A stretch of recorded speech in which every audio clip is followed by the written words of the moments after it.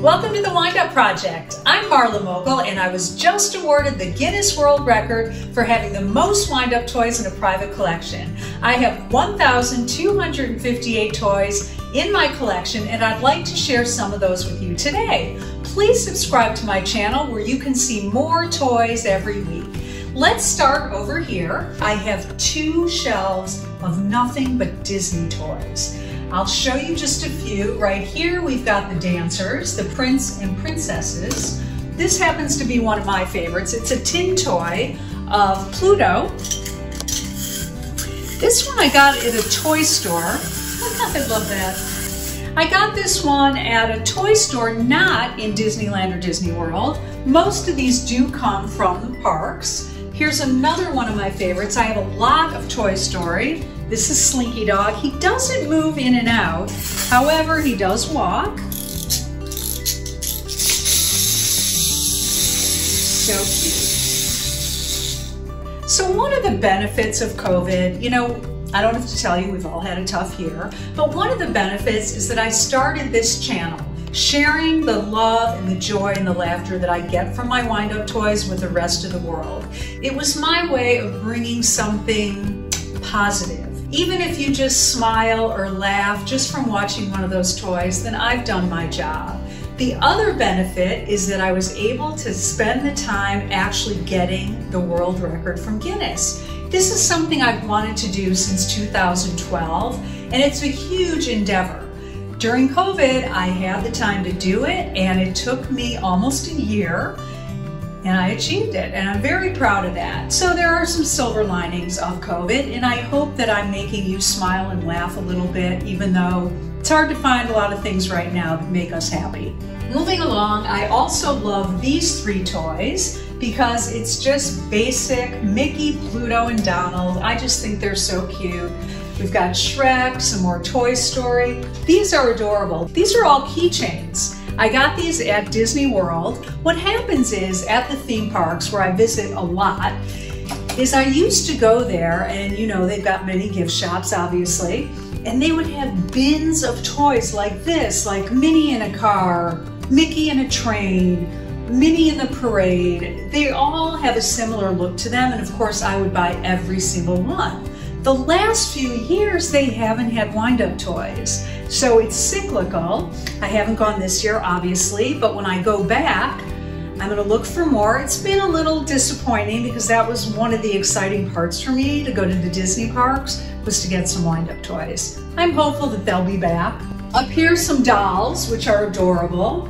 These are hearts and lips for Valentine's Day. Here I have a lot of ducks and Easter toys, which you'll see more up above where I have my Easter toys, my Halloween toys, Hanukkah, Christmas. I like to keep all the holidays together. I do like keeping them very organized. Over here, these are fun. These are food. I happen to buy this set of cookies and biscuits. I actually bought them on eBay, which is unusual for me. Because first of all, when I started collecting, there goes the Oreo cookie. When I started collecting, there wasn't eBay. And part of the excitement and the fun of collecting is the hunt. And just going into stores and never expecting to see a wind-up toy, but always finding one. Another secret, when I go into a store, I never go up to the salesperson and say, do you have any wind-up toys? I don't want them to show me their wind-up toys. I want to find them myself. And it's not always toy stores. It's just incredible, all the different places you'll find them. As a matter of fact, this one my stepson got for me in Whitefish, Montana at a sushi restaurant. Go figure. If you don't know your sushi, that is a salmon roe. And I also have an entire set of sushi, which is kind of fun. And I also have a slice of pizza, some fruits and vegetables. Over here, don't have a lot of these, but they're cute. It reminds me of those pinwheels that we had as a kid. Very cute. Uh, of course, I have Garfield. He's a water toy. You could see that he's sitting in an inner tube and his tail is the wind-up mechanism. I love the emojis. These are just adorable. And it looks like they're all the same, but the reason I have so many, because I don't have duplicates of any toys. Well, I have a million duplicates. However, the dupes are in a separate box and I like to give those to kids when they come over. The difference is these have feet and these don't. Here's some of my fuzzies and I've categorized these fuzzies into Easter. Even though they could be in a category of just chicks and bunnies, these are pooping. We love, they poop jelly beans. Everybody loves the poopers. These two are adorable. They're all dressed up in their Sunday best, ready to go to their Easter dinner. More bunnies. This one is, again, one of my personal favorites. It's a peep. And if you remember peeps, well, they're still going strong. And this one is a blue bunny.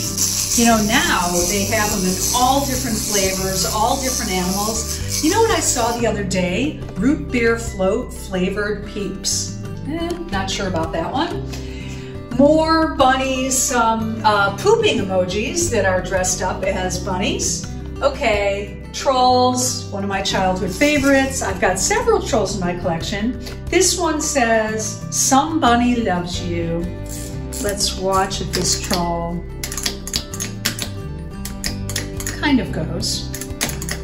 Thank you so much for being here today. I hope you enjoyed seeing just part of my collection. Please subscribe to my channel and you could see the rest of my collection. I'm putting these out every week. And remember, keep smiling.